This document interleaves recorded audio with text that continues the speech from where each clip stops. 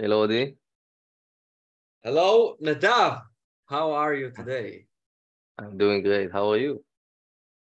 Uh, a bit uh, cold. I had Mhm. the air conditioning on uh, a few days ago, but uh, feeling better, feeling better. Sounds good. So, yeah, we have something interesting today. So, we're not going to analyze data per se, but we're going to show you how to use a, a natural language processing model by OpenAI. It's called GPT-3 to do basically whatever you want. It can do a lot. So uh, let's let's take a step back and explain what I just said, if, that, if that's okay. Uh, NLP, natural language processing, uh, is a field in machine learning, uh, which means that you can process language, understand language, or try to author different types of documents. So that's a very broad description of what NLP is. And OpenAI is a company, there are a few companies uh, uh, like them, which work in the field of uh, machine learning. They have different deep learning algorithms. One of them is a, is a model called GPT-3. And they haven't, they, they usually these models are developed by training a lot of, uh, training on a lot of data sets and a lot of corpus, or a lot of types of documents. And eventually you get a model which can compose different kinds of documents. So let's give, give an example of what we're going to, uh, uh, to do, or what this model does. So I've already loaded the OpenAI uh, playground, as they call it. So that's beta.openai.com slash playground. Maybe you need to register first. And now you can you can try and see how the model works. For example, if I write if I write down a write a blog post for LinkedIn about me being excited for starting a starting a new job as a data scientist.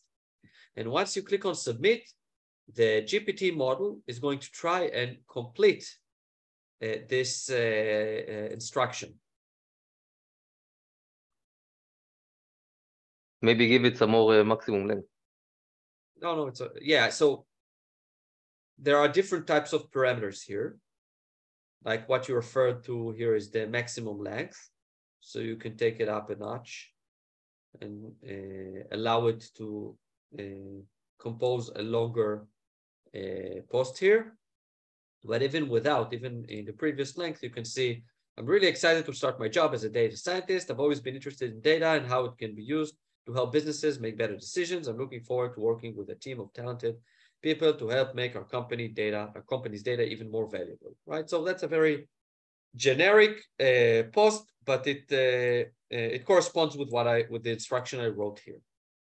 And there are different types of models you can run with uh, like this. The Text DaVinci is the smartest model. Though it's also the slowest, and it's also the model that costs the most. Uh, and there are different types of parameters like temperature. I guess the temperature adds uh, randomness, right? It controls the randomness of the result, and a lot of other uh, um, parameters you can play with here. Now, obviously, this this model can be very power, powerful, but if you want to implement it in a, in your own software, you can't use uh, this uh, playground over here. You need some kind of an API, right? An application programming interface to work with the model. And OpenAI and uh, OpenAI built uh, an API you can work with. So that's what we're going to show now. It's very simple. It's going to take like 10 minutes and you have a script which works completely with this. Uh... So there's only one uh, first prerequisite for it to work.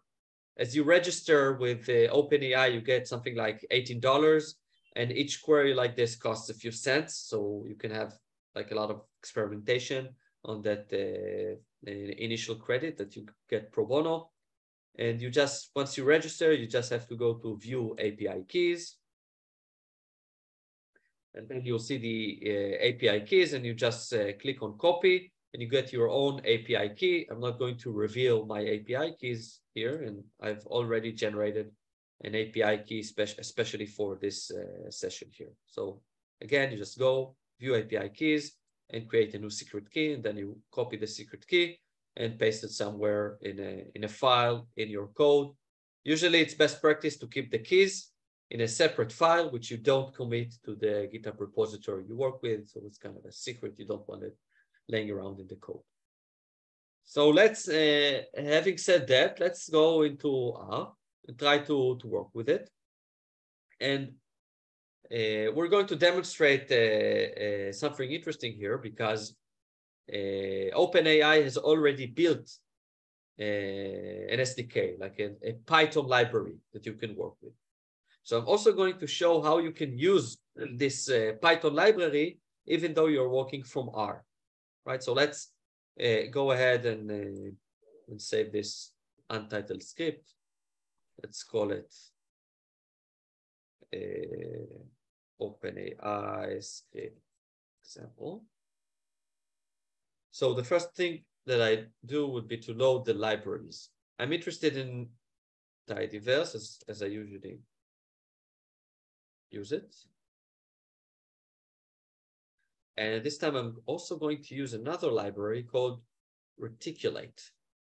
Did we run into Reticulate in the past in one of our previous videos? I don't remember. I don't think. Well, I think we mentioned it. Yeah. But didn't show it. Okay, so Reticulate is a, is a great package. It gives you the power that you have in Python, but within R. It basically runs Python. So you can do whatever you want. So if you have a, a package already developed in Python, like OpenAI's library, you can use Reticulate to call it and you don't have to redevelop everything in R. It's the same ex example for, yeah, it's, it, it is. So, and it's the same example for like uh, when you use uh, AWS, uh, Amazon uh, Web Services, they have a pretty good package called Boto3. It's an SDK. It contains all of their uh, API, all of the commands that you can use, all the different services. It's implemented in Python, so you can use it in R when you load the reticulate. So the first thing to do uh, in this context is kind of a one-time operation, one-time operation to uh, uh, generate a Python environment. So the first thing would be that we want to generate an environment which includes the, the Python we want, the, like the Python version, and the package that we want. We want a package called uh, OpenAI. That's the name of the package uh, from, uh, well, from OpenAI. So Reticulate for this has a, has a command called uh, uh, conda uh, something like I think create. Probably virtual env create.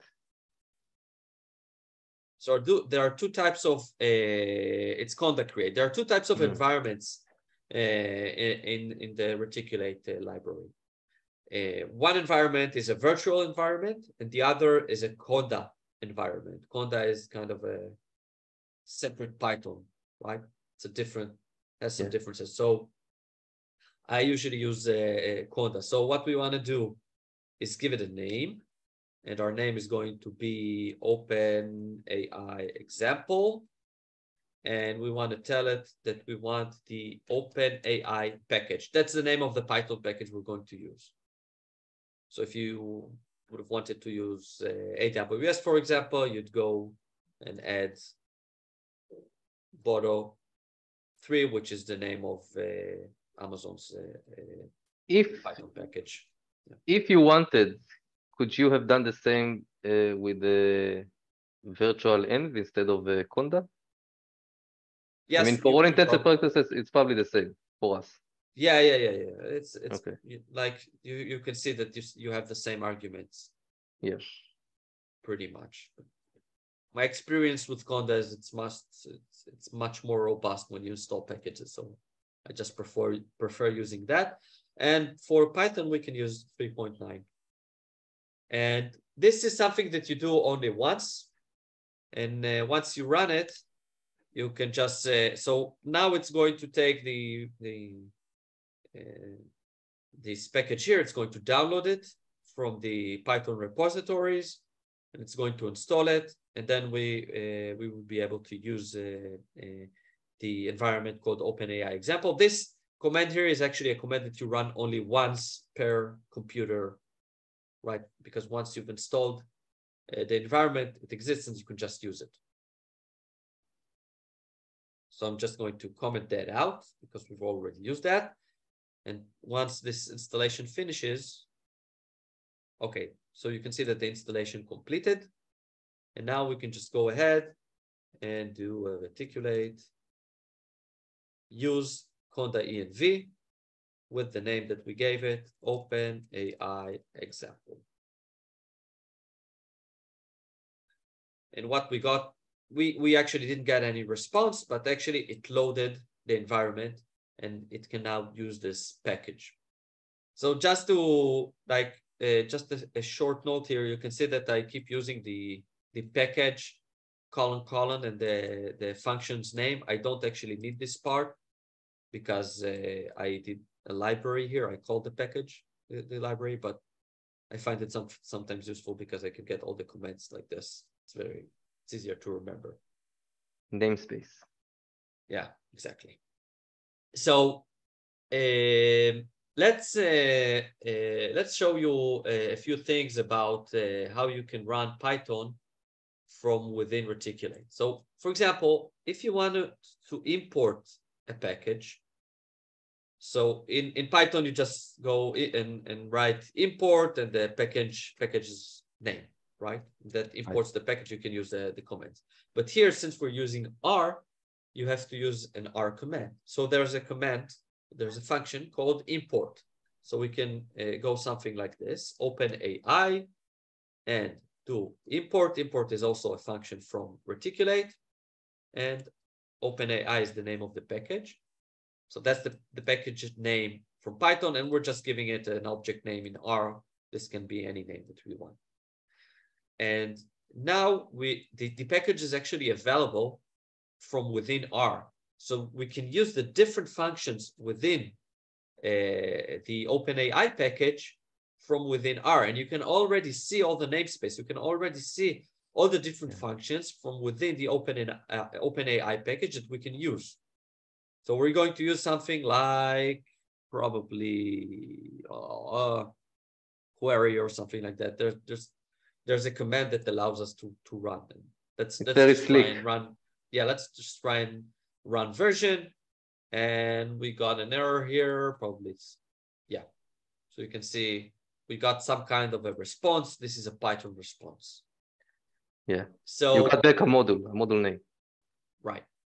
So uh, uh, the next thing we want to do is read our uh, our key that uh, in the beginning I said uh, that I already downloaded. So I'm just going to do a read, a read file, and the key is in credentials, OpenAI key. So it's it's here, and uh, yeah, there's part of it here. Don't try to use it because I'll delete it afterwards anyway. you generate your own. Uh, and now we've got the key and we've got the package and we're ready to try and uh, query uh, our model. So in order to uh, for us to uh, reach out the GPT-3 uh, API, all we have to do is let's go with something like this is going to be the response of the of the GPT-3 model, and we're going to use OpenAI from within it, we need to use completion. So uh, this is the model module that gives us a completion for a sentence that we gave. And we're going to create. Now we have a few parameters that we have, like a few arguments that we need to use here. So uh, and all all of this is also documented within uh, the OpenAI's documentation. So you can go and, and check all of that if you want uh, to get uh, further information about how to use this function. But the, the first thing is to, to tell it what model, what exact model to use. So as I said, uh, as I showed earlier, there are different types of models. Uh, the strongest one is called Text DaVinci 002. So that's the model we'll be using now.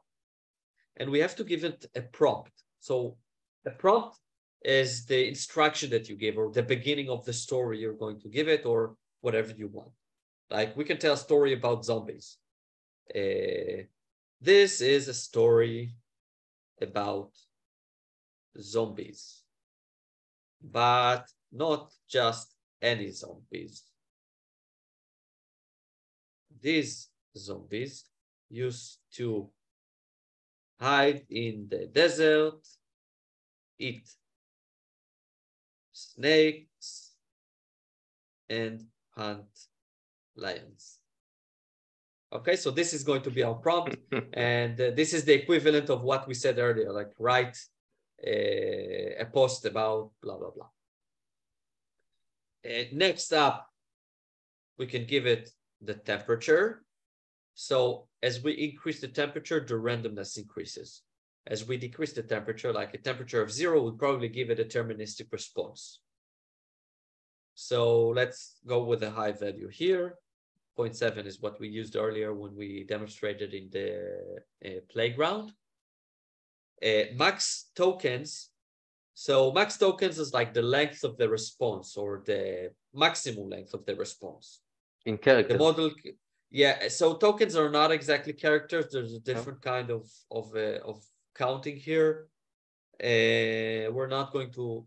I'm not sure exactly how they count it, but but the pricing model their, their pricing model is like a, a few cents per token. So mm. you have to be sure about what the max length, like if you keep it too long, the cost is going to be or might be too high. If you keep it too short, then you might get partial answers. So you, you have to that you have to go with a bit of experimentation depending on the type of uh, of uh, application uh, or use case you're using. So max tokens, let's go with 250. And there are a few more, like there, there, there were a few more arguments here, like you can see top P, frequency penalty, presence penalty, best of. I'm not sure if you have to specify them. So Probably they have default values. Yeah, probably they do. So let's let's try to go with that and see if we get an error, then we know that we have to specify them as well. Now, let's go ahead and try to run this and see what's the response going to be. So, okay, we got an error here. Oh, okay, hmm. no API key provided. So I did read the API key, but I didn't use it anywhere, right? I have to uh, first like initialize the key or let it know that I'm using this uh, and it's okay. So the way uh, the way I want to use this, the way I, I want to define the key is just using Open API, and there's an API key here, and then I just have to take this key here, the string.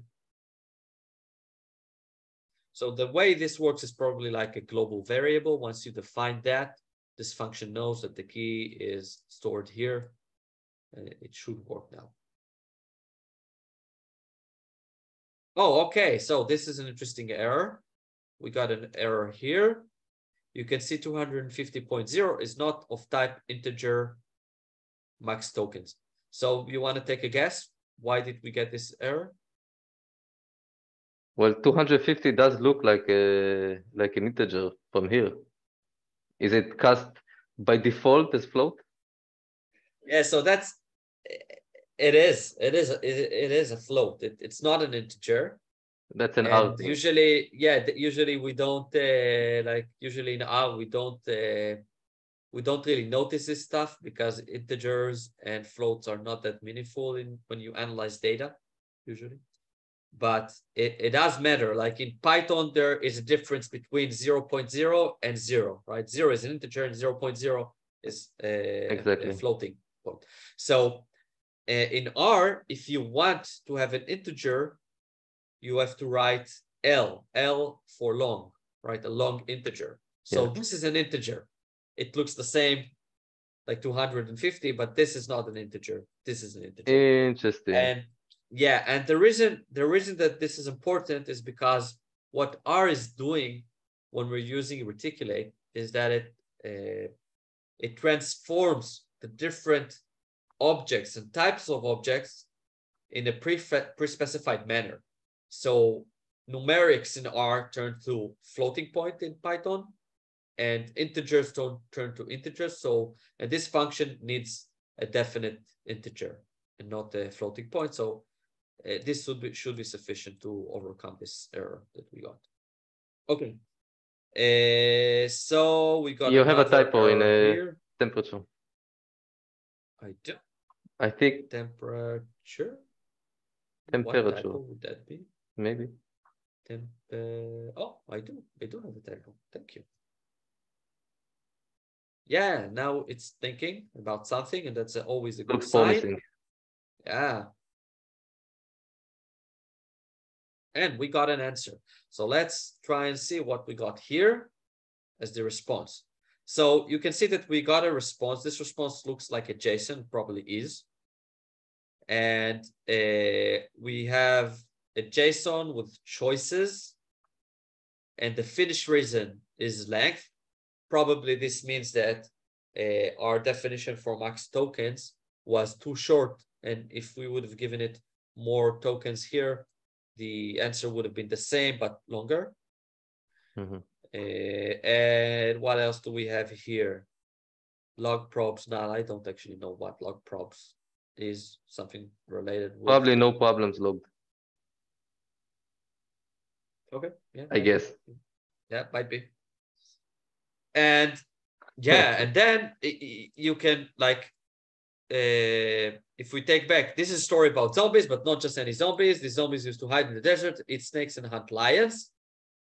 They were called Bushmen, and they lived in South Africa. Yeah, it develops. Keep on reading. They become zombies over time. They become zombies. Is that something racist? I hope that's not racist or anything. No, it just uh, like a starting point they got hooked into. Yeah. The Bushmen were a nomadic people who lived in small bands. They were experts at survival in the harsh desert conditions. They were also skilled hunters and could track and kill even the most dangerous animals. But then something happened. The Bushmen started to change. They began to care, crave human flesh. This is actually an interesting story, right? Right. it's amazing. Yeah. They became Because- violent and It starts believable, you know. Bushmen, they live in the desert, they hunt, they, I guess, eat snakes. I don't, I don't know. So it started from a like a, a a make sense point, right? Not what we expected, but it does make sense in the context of the story. yes, Pretty yes, cool. yes. Pretty cool. Mm, yeah. So they be, eventually they became violent and aggressive. They began to attack and eat people. The Bushmen became zombies. The, the first reports of zombie attacks came from the Bushmen themselves. They would tell of seeing their friends and family members change into monsters who would try to eat them. Some of them thought the Bushmen were just making up stories, but then more and more reports started to come in. It became clear that there was a serious problem. The Bushman zombie outbreak quickly spread through South, southern Africa. The Bushmen were not the only ones affected. Other people, including some Europeans, were also turned into zombies. The zombie Bushmen were a serious threat to everyone in the region. They were difficult to kill and seemed to be able to keep going even when they were severely injured. The only way to stop the Cliffhanger. yeah yeah it keeps us in suspense and this is the next chapter. So just just to you know to to kind of extract this text what you want to do is use probably there's a if you can do something like i'm wondering if that's yeah. So you can do something like choices and then and then this is this is like a JSON here. So just text within choices. Yeah, so this this this this actually this whole thing is is a JSON, but R keeps it keeps it this as text. So we want to turn it into a list or something. like Aha. that. Probably into a dictionary. Is there a dictionary in R? Yeah, there is. It's called a list. So you can you can do something like I think you can do something like read JSON maybe. Read JSON expects a file, I think. Maybe from JSON, From JSON. probably from JSON would probably work. Yeah. A TXT must be a JSON string, URL, or file. I think that if we do something like this. Yeah, Nice. so this is yeah, I might be, might be. No. Uh, so this is not It means that you're not holding a text. What's the type of that uh, choices?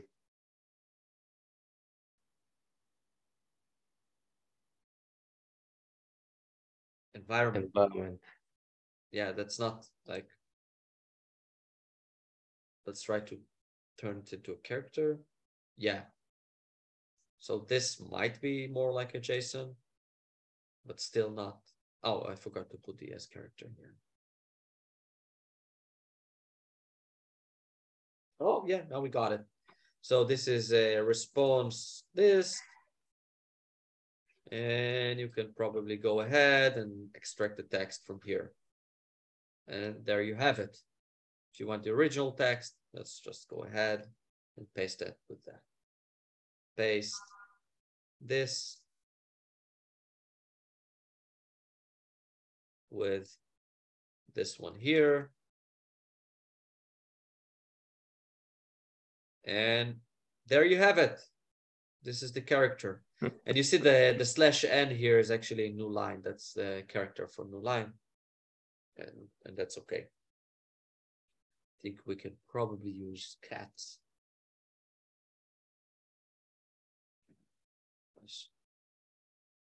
Yeah, and now looks more like a story with the paragraphs split and everything. Nice, isn't it? Yes. Yeah. And a very like a very quick way to do it. It's it's like you saw it, took- it took us a few minutes from from inception to It's- implementation. It's crazy how uh, easy it is. Yeah. And you can you can even go crazier. Like you can even combine that with a translation. So for example, a lot of my projects personally are in Hebrew. And the GPT-3 doesn't well, it supports Hebrew, but the results are not that well because it probably wasn't trained on that many Hebrew data sets. So you can do everything you like in English and then use another uh, machine learning uh, models. Like there are different types of APIs for translation, either a, Google cloud platform or AWS or whatever you want to use. So you can do everything in English and then just translate it to whatever language you want. I, guess that the models that you OpenAI uses here or developed here works pretty well in the common languages like English, Spanish, probably and other. So you can try that out and see for yourself. Pretty cool. Yeah, it is. So the code here is going to go to the uh, to our repository. We're going to put it there. Obviously, if you want to recreate it, you just have to download the key and install the packages, and, and there you have it. Your own AI model, which does whatever you direct it to do in terms of writing different descriptions of whatever you're thinking about.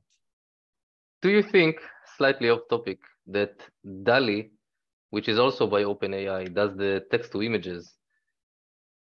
Basically, here it does text to uh, description by text, and DALL-E does text to description by pixels. Probably they have the same core, or like the same uh, language processing uh, engine, and it just splits into different uh, visualizers. I don't know. So I, I, there are probably some commonalities between the two, but there are fundamental differences. So let's think about uh, machine learning in general. you want to have some kind of a supervised uh, algorithm, right? You want to teach it somehow. You want to teach the algorithm what kind of prompts should lead to what kind of results. So with this NLP model, you have prompts which lead to a textual result. But with the DALL-E uh, uh, product, you want text which leads to a visual result, like an image. So you probably train it on something completely different. You train it on images. So what you do when you when you do a supervised learning model, when, when you build a supervised learning model, what you do is take a, a, a if if we talk about the DALL-E, for example, you take different kinds of images with their description, and you teach the model that this kind of description leads to this kind of image, right? So you get a lot of oil paintings, and if it is the word oil, oil painting, you know what it would know what the characteristics of an oil painting is. If it would see a pencil drawing, it would know yes, but what kind. That implies that it has a lot of uh, understanding of context because you teach it with a million pictures of monkeys and skateboards, but you never teach it with a monkey on a skateboard on a sidewalk in New York, which you can tell it. It needs to understand the different things and align them in context in a make sense image. So the basically it's the product is a pipeline, right? You feed it some some uh, text it analyzes the text and then it generates something out of it. At least the understanding of text and the complex patterns that you put into it and the context it generates, I guess it could be the same as uh, it's the same engine. It understands language as natural language uh, uh, processing, basically. Yeah. So as as I said, there are probably some commonalities, but a lot of differences as well, because the outcome Super is completely different. So the training is completely different. Yeah, it is. It is. Uh, it is so a subject. talking like we've been talking about uh, uh, DALL-E. So let's at least show an example of DALL-E, right? So if someone doesn't know yet. This is, by the way, it's an active uh, uh, uh, subject of study. It's called the transfer of domains because you want to teach, you don't want to teach to teach GPT-3 took a lot of time and a lot of resources. It would be better for everyone if you only had to teach the differences or not to teach everything and transfer whatever you taught GPT-3 into DALL-E. Transfer the understanding into a new domain. Yeah, yeah. That's where everything is, uh, where everyone is trying to get now. Yeah. So uh, uh, zombies in the desert Hunting lions. Lions. So give it a style. Be oil oil on canvas or digital or what would that be? Graffiti. How do you spell graffiti? Uh, F F F I T I. Yes. You want to check that before I run? Yeah. yeah? okay? Yeah. You know what? I can believe it. Just a second. I already ran it, so. Probably to understand.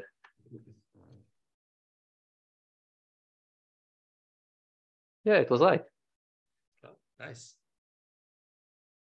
So this is what DALL-E does. It understands the language and tries to give you, in this case, a graffiti, graffiti. drawing. Yeah, graffiti of, wasn't a good uh, good choice. of zombies uh, hunting lions in the desert. No, it's, it's cool. actually nice. I, I like it. Yeah. It's nice. Give it instead of graffiti, give it uh, digital art. You know, you can even specify like a, a wide angle lens and all that kind of stuff. Time of day, everything. At sunset. Is that okay? Yeah.